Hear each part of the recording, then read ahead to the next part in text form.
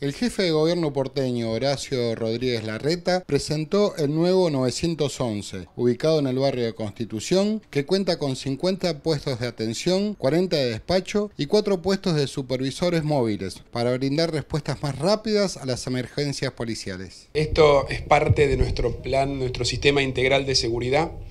Como dijimos siempre, para ir mejorando la seguridad de los porteños, tenemos un plan integral que incluye tener más policías en la calle, mejor entrenados, mejor equipados, estamos cambiando el sistema de comunicación con los teléfonos nuevos, estamos dotándolos de mejor tecnología, ya anunciamos hace un par de semanas con María Eugenia Vidal todo el anillo digital para la lectura de patentes y cámaras en las entradas y salidas de la ciudad. Como parte de ese plan integral es que hoy estamos mostrando, lanzando el nuevo 911. Como decía Martín, es una parte muy sensible del, del control, del control policial, del, del, cuidado a nuestros ciudadanos, porque es donde entran la gran mayoría de las denuncias, sobre todo aquellas más urgentes.